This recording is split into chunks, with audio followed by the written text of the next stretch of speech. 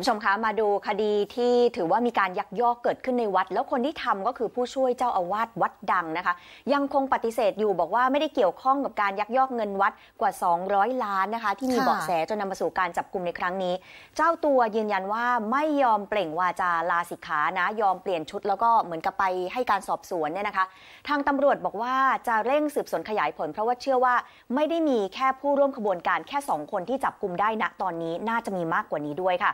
เป็นความคืบหน้านะคะ กรณีที่ตำรวจปปปไปร่วมกันกับปปช แล้วก็ปปทค่ะ จับกลุ่มพระครูอายุ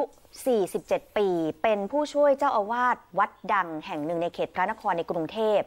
กับอีกคนนึงคือในปานจิตค่ะ อายุ 52 ปี ในข้อหาร่วมกันยักยอกเงินวัดกว่า 200 ล้านบาท ก็คุมตัวมาสอบปากคำนะคะ ที่ปปปเมื่อวานนี้ ทีนี้การสอบปากคำตลอดทั้งคืนเนี่ย มีแค่นายปานจิตนะคะที่ยอมรับสารภาพ เพราะว่าจำนวนต่อหลักฐานนะคะ โดยเฉพาะเส้นทางการเงินที่มีเงินเข้าบัญชีเขา 25-30 ล้านบาท ส่วนพระครูรูปเมื่อสักครู่นี้นะคะ ยืนกรานปฏิเสธ แล้วก็ไม่ยอมเปล่งวาจาลาสิกขาด้วย แต่ว่ายอมถอดจีวร เปลี่ยนไปเป็นชุดไพรเวทเดินเข้าห้องขังเท่านั้นค่ะ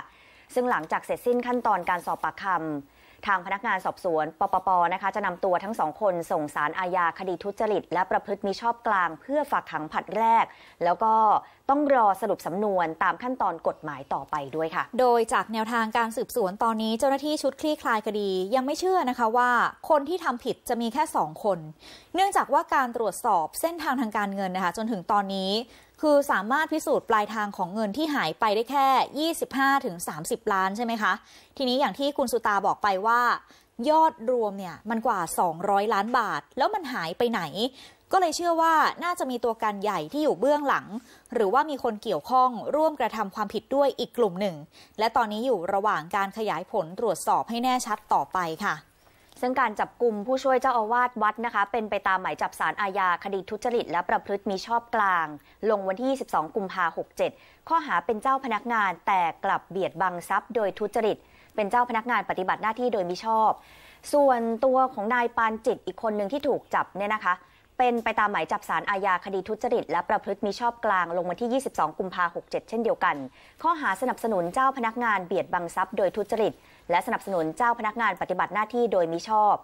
ตัวของนายปานจิตเนี่ยจับได้ที่วัดท่าพระเพราะว่าเขาหนีไปบวช ส่วนผู้ช่วยเจ้าอาวาสค่ะจับได้ที่กุฏิภายในวัดดวงแขคือหนีไปอยู่กับเพื่อนพระที่วัดนี้นะคะค่ะ ก็ถือว่าจับกลุ่มได้สองคนก่อนนะคะ ดูพฤติการกันหน่อยค่ะ ผู้ช่วยเจ้าอาวาสวัดค่ะ ได้ร่วมกับนายปานจิต ซึ่งเป็นพ่อค้าขายของอยู่ที่วัด ยักยอกเงินวัดกว่า 200 ล้านบาทไปเป็นทรัพย์สินส่วนตัว พฤติการคือตัวของผู้ช่วยเจ้าอาวาสจะนำเช็คเงินสดไปให้เจ้าอาวาสเซ็นอนุมัติ แล้วก็มีการเอาเช็คนั้นเมื่อเซ็นแล้วเนี่ยนะคะมาแก้ไขตัวเลขเพิ่มยอดเงินให้มากขึ้น หรืออีกวิธีก็คือเอาเป็นเช็คเปล่าไปเลย ให้เจ้าอาวาสเซ็นท่านก็เซ็นไปแบบที่ไม่รู้เรื่องแล้วค่อยมากรอกตัวเลขเนี่ยแหละค่ะ จากนั้นก็ให้นายปานจิตเอาเช็คนั้นนะคะ ไปเบิกออกมาเป็นเงินสด จะได้ตรวจสอบยาก ลักลอบทำแบบนี้มาตั้งแต่ปี 2561 จนถึง 66 เกือบเกือบ6ปีแล้วนะคะ รวมเป็นเงินกว่า 200 ล้านบาท จนกระทั่งมาจับกลุ่มได้ในที่สุดหค่ะกปีได้ไป 200 ล้าน แต่ว่าอันนี้ปฏิเสธยากเพราะว่าเส้นทางการเงินค่อนข้างชัดเจน เดี๋ยวค่ะสาวไปถึงใครก็ต้องว่ากันต่อนะคะ